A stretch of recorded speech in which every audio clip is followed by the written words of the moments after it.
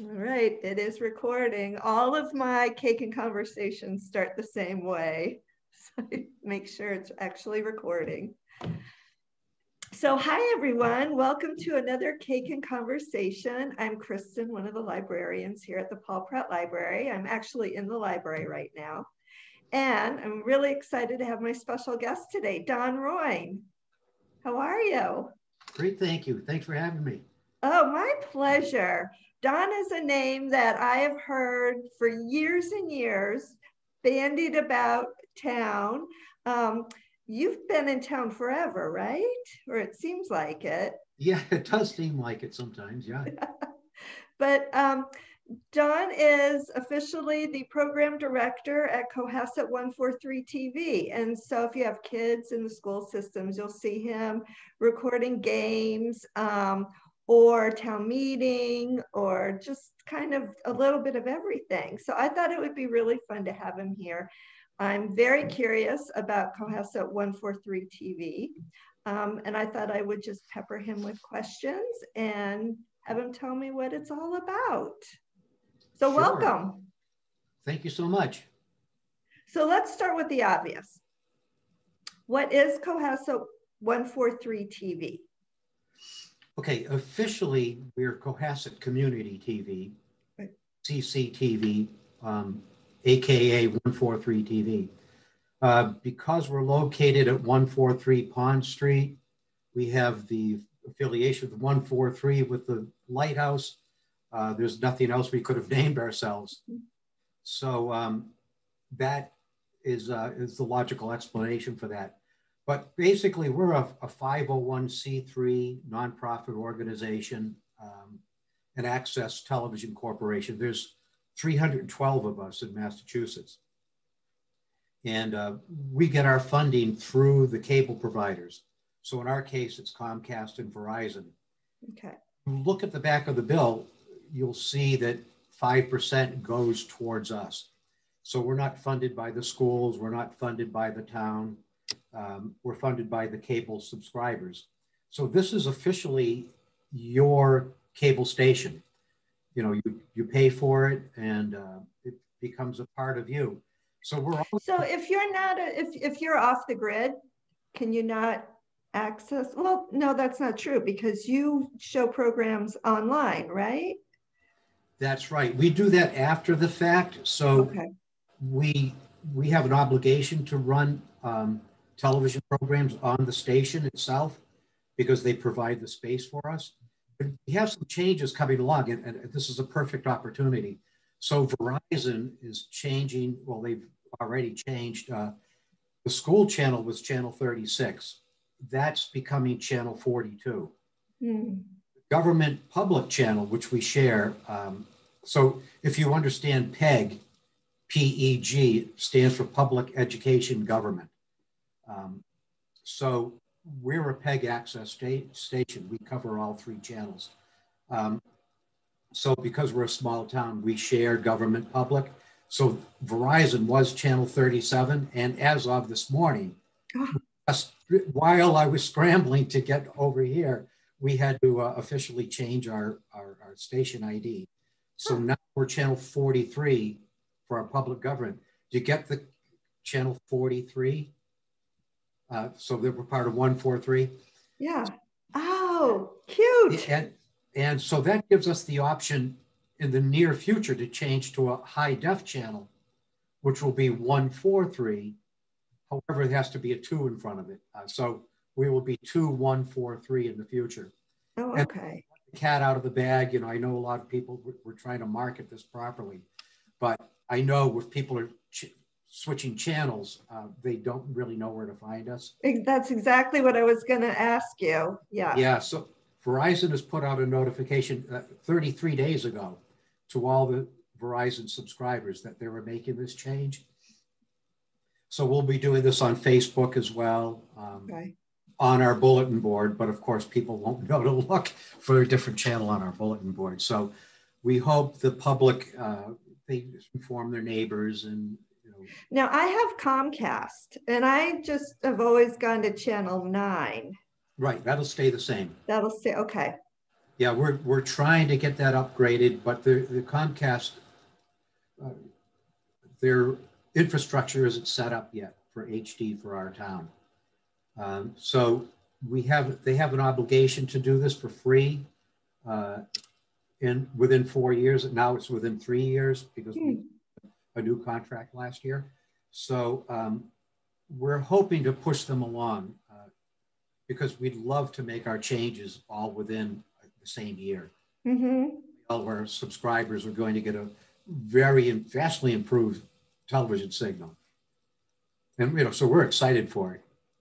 I, I nobody wants to see me on HD, so I've got to fix the radio, as they say. Yeah, that there's something to be said about the fuzziness, right? yeah, right, right.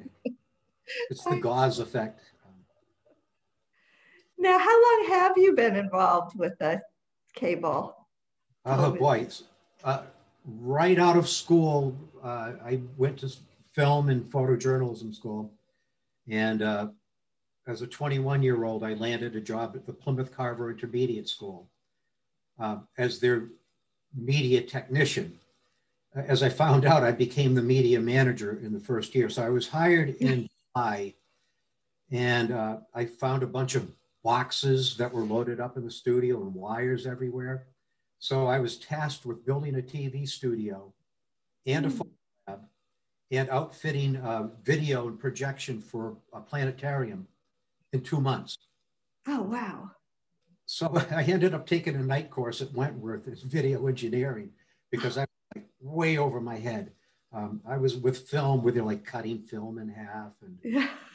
so now I'm into a new technology. And wow, wasn't really prepared, but um, come September second, which was on my birthday, we uh, didn't everybody remember that. So you.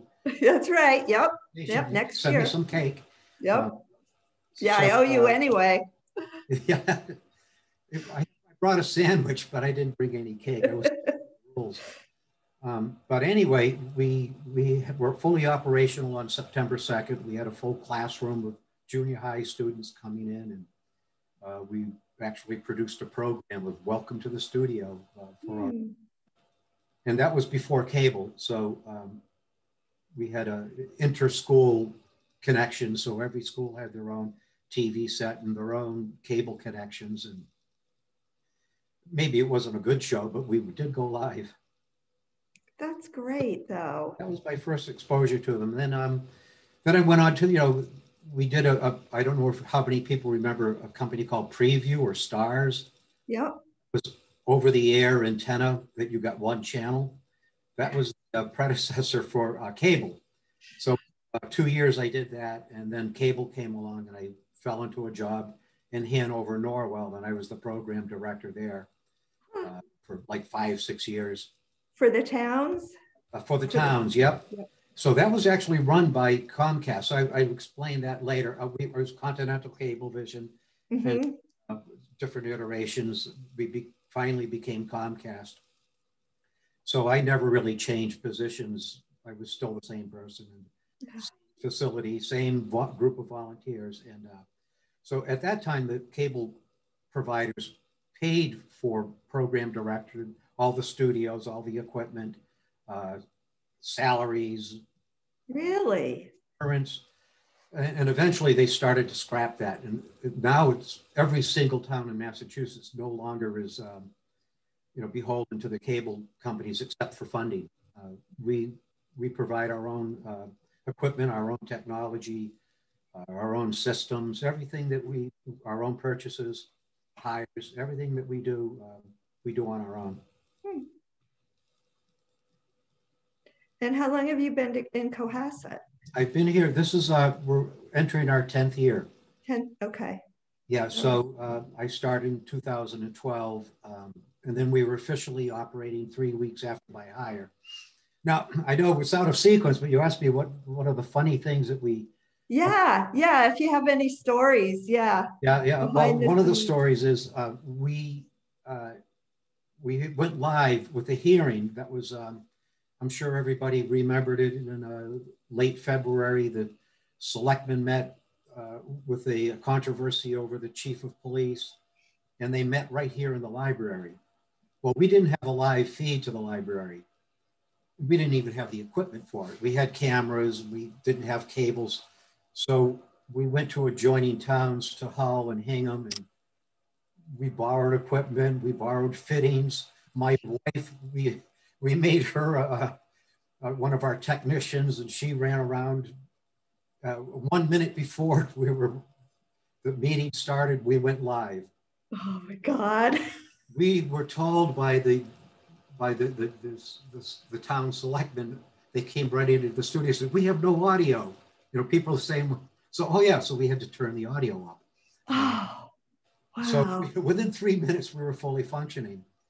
Uh, the funny thing is we recorded in a raw file, not knowing what we were doing.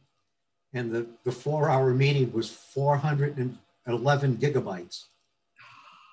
So that took up, we only had a 500 gigabyte server. Holy cow, really?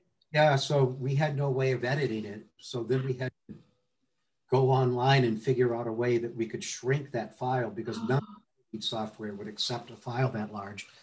Um, so by the following day, we were able to shrink it down to a reasonable size. And we played it back for the audience that couldn't watch it live. And we were great, couldn't watch it live because it was a mess. Oh my God. And so, like, where is something like that? Do you have archives? We do. Yeah. So we have, um, I, I'm trying, we have uh, 36 terabytes of backup files. Hmm. Some of our files go on the cloud and mm-hmm. we put online. So all of the school committee, selectmen, planning boards, they go on the town site after mm-hmm. we. So we have archives almost everywhere. It's, they're, they're like tentacles reaching out. If, um, if I had a laptop, I turn it around, you can see I've got uh, eight terabytes of, of storage within really? my, I can replug them in and, and find things that that are that are archived. We've so if somebody say you know wanted to see something that you recorded, maybe a program six years ago, they could do that, and you would make arrangements for them. That's right. That's right. Um, generally, for town functions, we we provide that for you know town government for school committees. If it's mm-hmm. we've had uh, like attorneys asking for information, we charge them for it. It's the same as in the past, we would make a DVD and mail it to them, and we charge them with 25. Mm. So it, it is time consuming. We, we have to load the file um, into a system. We put it into Google Drive, or sometimes they don't have, they can't receive it because their, their computers, uh, their, their systems won't allow files like that. So we have to send a thumb drive or Mm, oh, really? We, we do that. And, you know, generally, if if you, for instance, were looking for a program for six years ago, yeah, send it to you via Google Drive and no charge. We're happy to we're happy to do it. You just have to give me a cake or something. Because I remember when I first, well, I, I I don't even know how long before I had kids, so more than twenty five years ago. They used to have like the kindergarten class, I think here at Osgood would always have a Christmas program that would show right. on cable. And that was always cute. And I thought, gosh, if I was a parent, that would be sort of a fun, or, you know, maybe their 20th college reunion or high school reunion might be fun to dig something like that up. Yeah, sadly, um, most of that stuff was recorded on tape Mm. When, when, the um, when the provider was Comcast, so there were different programs.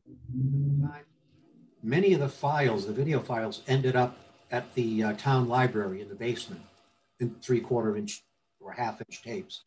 Um, we've been converting some of those that that we thought were very um, that would fit today's time. Mm-hmm. Over probably 200 tapes that haven't even been converted yet. Um, so if you were interested in something, you could always go over to the, now it's the Historical Society. Yeah. And, and go through the basement and, and look at the labels. And oh, see. interesting. I bet that's a fun basement to go through anyway. Oh, it is. It is. a lot of treasures. Yeah, we so found. I don't know if everybody knows that um, 143 Pond Street is actually the middle high school. That's and right. so that's where your studio is. That's right. We're right in the middle of the library, which is now the Learning Common. Oh. And so we have classes come in at least once a week. Uh, the, uh, the video teacher, Adam Sasso, was also a graduate of Cohasset High School. Yep, Mr. Sasso. Yep. And uh, so he brings a class. So we have to, we, at, last year we had like 18 kids in the studio at one time.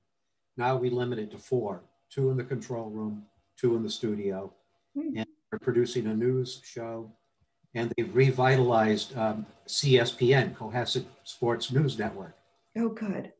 And that's something that we started in our first year, 2012 to 2015, with students. And uh, you talk about funny stories. These kids would come in, and all they did was like insult each other. Great insults. And I'd be trying to get their attention, like, we're going on the air in, in five minutes. They would they wouldn't stop if they saw something that said paddle mic, which is you know something you can talk to the people in the studio, they no, you're a paddle mic. Weird. And uh, so I'd start the countdown: five, four, three, and suddenly they'd all be in their positions. They would very like, professional news anchors. It's like oh, they were awesome. And now we have the great. Oh, so you're restarting all that. That's fabulous. Yeah, we have Political Society, uh, which is they stopped because of the pandemic. Mm-hmm. They'll be starting up once again. I guess they're doing some Zoom uh, Political Society uh, programs, but they're the same way. They're very focused. Once the, the countdown starts, they're in place. And you know, it just does my heart wonders to watch these kids. Uh, yeah, yeah. And what about adults? If adults have, um, you know, program ideas or anything, how, how do they go about getting things put together and aired? I'm, I'm glad you mentioned that. So we've had shows in the past. Our Town was one. Um, Diane, I mean, uh, Karen Golden Arante produced her own show, uh, Living Histories, uh, interviewing mm-hmm. who lived and grew up in Cohasset. Um, so now we have uh, the Cohasset Open Artist Group. Oh. Yeah, so they're producing their own show. Uh, two of them, uh, two separate shows. One is Zoom, very similar to what you're doing right now. Another one is we provide the camera, the training for one individual. Um, in this case, it's, it's Margot Shield. She's um, the camera person, and she goes to the different artist studios, so we don't have a large group, interviews the artist. She sends that video to me and to uh, Ginger Jensen, who has learned to edit virtually via, um, we do it online with her. So we create a, a Zoom conference with her. She ha has a Mac with iMovie, which I don't do anything. Mm. Um, so we go, I have independent study students uh, one has a Mac. So she will teach online how to edit. And it's like, it's a miracle. It's a miracle. Really? I have a junior in high school teach a senior senior um, yeah. with very limited editing skills how to put together a show. So they put together three artists at a time for a half hour program. Um, they send me the finished product. I just balance out the audio and add a title or two to it and we put it on the air. And this is what we're looking for. We're looking for adults who are interested in producing their own programs. Um, we don't do the shows for them. You know, mm-hmm. We do mm-hmm. hand holding, and that's that comes with the territory. Mm-hmm. But we really want them to be interested and to learn, and then they become peers in teaching, uh, so we can grow uh, that way. And people are more familiar with friends or, or, or, or family members uh, that they can sit down with for several hours and teach them a, a new skill. Yeah. So we love it. Yeah. Uh, and where do you find your TV schedule? Is that online? That's online. So if you go to 143tv.org, um, schedule, a backslash schedule. Okay. We, we usually uh, put our program schedule like three days completely in advance Uh, but now we have sports and playoffs, so we leave uh, placeholders that just say like Cohasset Sports. Mm. It's really there until we we populate it. But um, but we have the time slots. We have um, time slots for um, the Council on Aging, uh, the Cohasset Elder Affairs has mm. productions in their own programs. So we have slots for them. We have slots for the St. Stephen's Together Again services. Um, that's produced by a former student, uh, Jason Conforti. Mm. He sends us the videos. Oh, we love Jason. He was He's um, wonderful. He worked for us for a while, a couple years. Yeah, yeah he was great. Yeah, he, he, you'll be reading about him like at the Ken's, Ken Burns of the future. Yeah, yeah, he is. He so, does great videos. He does. The one he did, I showed. I had um, uh, the Veterans Affairs officer here, and I showed the uh, Vietnam veterans um, video that he did, which was fabulous. Yeah, we ran that along with our virtual Memorial Day parade. So, of course, we put his first because it was just marvelous. Yeah, we yeah. created a virtual, uh, uh, like a, like a parade uh, with speeches, and it, it, was wonderful. It was well oh, received. That's great. Now, how many employees? How many employees do you have, or is it just you? It's just me. Um, we have Jack Cunningham, who you're probably familiar with. Mm-hmm. Uh, he just graduated from Emerson, did his four years and three years, and uh, he was also doing two internships, plus trying to cover meetings for me uh, virtually. Wow. So uh, he's graduated. He's finished his two uh, internships. So he's here part time for us. Um, and it, he, just really comes in handy because we're blowing up with um, editing all the sporting events that are. Mm. Do you air 24 hours? No, no. Well, we are. We, So we have a community bulletin board, uh, which is events that are going on. People can send us uh, generally in a, in a PNG or a JPEG. Oh, that's good to know. Yeah. Okay. So we uh, we place that on our bulletin board between programming. So if a show is 23 minutes, the last seven minutes is bulletin board with music that we have on a little tiny uh, iPod. Um, we have holiday music that we switch to, and uh, so how does somebody submit something to that? Uh, they can send it to uh, Don at 143tv.org. Okay. Just um, in a like, do they need to have it? Um, is it just strictly information or? Yeah, so at times we'll get too much information. It's yeah. like an entire book. Yeah. Um, can't be read on a television screen. So we just ask for bullet points. Um, you know, get to the point and the five basic uh, lines of information. And, and if they want more information, go to your website. Um, okay. So that's we we're glad to do that. You know, we like to populate, uh, you know, advertise events in town so people are, aware of it. They know to turn to us for, for advice. Oh, that's super good to know. I don't know if the library does that frequently. Do we? I don't know. You did in the past, um, but I would love to see it again. So yeah, you should be advertising cake. I, yeah. Oh, you're going to be hearing a lot from me. Yeah. Good. I like no it. kidding. Great. And I also noticed on, on your website, you have a board of directors and things too. I know I interviewed um, Corey Evans. Right. Um, select person Corey Evans. So what do they do? What sort of role do they play? Okay, they're a, a, a complete volunteer board. Uh, Corey's the president, of course. Uh, he does have some TV background, uh, production background. So it's wonderful to have uh, people with skills that are at least relatable. Uh, we have Peter Richardson, who's our treasurer. Uh, he's been in independent business before, so he really understands. Uh, it, he also understands marketing. So mm-hmm. we're trying to market ourselves a lot better. The same questions you're asking us, other people are surprised to know that we're even here. Um, and, you know, that's our fault. It's my fault, but we just seem to run from one fire to the next. That's our job. Um, we have a highly technical system with seven go live locations throughout the town. Oh. operational, there's seven points of failure that we have to consider. Wait, what do you mean seven go live points?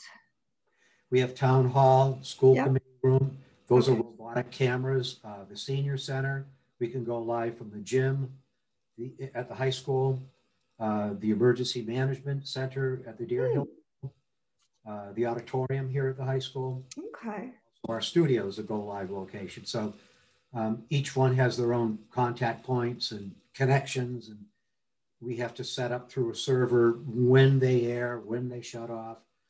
Um, so there's a lot to it. So when we're operating with that, uh, you know, a lot could go wrong. So we're usually, we also have a Pixellot system. Anybody that's not familiar with that, we have a robotic camera in the gym and on the high school field. It's a special camera with four lenses that was designed in the Netherlands. To, uh, it's got an algorithm that follows speed, distance, height, and the sport. So we tell the camera or, or the system that it's going to be boys football at 6 p.m. versus Abington. At 6 p.m., it goes live and um, the camera follows, there's no person operating it. It just That's follows the action.